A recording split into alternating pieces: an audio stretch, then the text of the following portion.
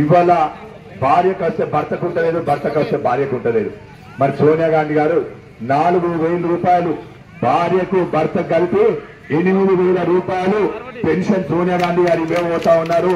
ఈ ప్రభుత్వం చేతి గుర్తు అధికారంలోకి వచ్చిన తర్వాత జనవరి ఒకటో తారీఖు నాడు గుర్తుకు గుర్తుంచుకోండి తల్లి జనవరి ఒకటో తారీఖు నాడు మీ అందరి అకౌంట్లో ఎనిమిది వేల రూపాయలు వస్తుంది ఈ దొంగ లెక్క కాదు.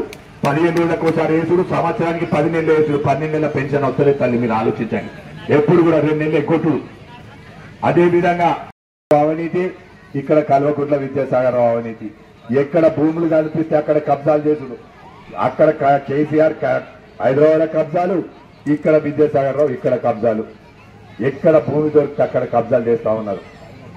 దయచేసి మీరు అందరి ఆలోచించండి. ఇక మన ఎమ్మెల్యే గారు ఇక్కడ ఖాదీ బోర్డు చైర్మన్ అయ్యాడు ఖాదీ బోర్డు చైర్మన్ అయినాక రాజేశ్వరరావు గారు ఉండ్రి. వారు చనిపోయినాక ఆ ఆ పోస్టును ఒక పద్మశాలికి ఇవ్వాలి అది ఇవ్వకుండా ఈయనే తీసుకున్నాడు.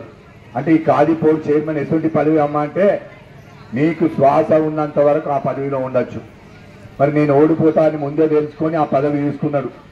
తీసుకొని ఏం చేసిందంటే ఖాదీ బోర్డు భూములన్నీ లక్షల కోట్ల రూపాయల ఖాళీ బోర్డులు రూమ్ మరి ఇవాళ అమ్ముకున్నాడు.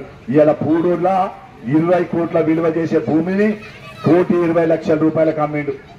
అదేవిధంగా కిసాన్ నగర్లో భూములు అమ్మిండు. ఇవాళ నాలుగు వందల షాపులు ఉన్నాయి. మెట్పల్లిలో ఖాళీ బోర్డు లెక్క లేదు పక్క లేదు. ఇవాళ వాళ్ళ ఇంట్లో పోసుకునే డీజిల్ మున్సిపాలిటీకి వెళ్ళి వాళ్ళ ఓ ఇంట్లో పోసుకునే పెట్రోల్ మున్సిపాలిటీకి వెళ్ళి వంట మనుషులు మున్సిపాలిటీకి వెళ్ళి దయచేసి ఇవన్నీ మనమందరం మున్సిపాలిటీకి వెళ్ళి ఇది కలిపారు కాబట్టి పన్ను కడుతున్నారు కాబట్టి ఆయన తిరిగే డీజిల్ కూడా దాంట్లో మీ వంతు భాగం ఉన్నది. ఎందుకంటే మనం ట్యాక్స్ కడతా ఉన్నాం కాబట్టి. ఎక్కడ చూసినా అవినీతి. దయచేసి ఆలోచించండి. నాలుగు సార్లు ఆయన కోట్లేసిండు రెండు సార్లు నేను ఓడిపోయినా మళ్ళీ ఆయన కొడుకుని తెచ్చిండు. ఇక తండ్రి తండ్రి తర్వాత కొడుకు. ఒక సినిమా మంచిగా ఉంటే ఎన్నిసార్లు చూస్తారమ్మా? ఒక్కసారి చూస్తాం రెండు సార్లు చూస్తాం మూడు సార్లు చూస్తాం నాలుగోసారి వీలు అరిగిపోతుంది.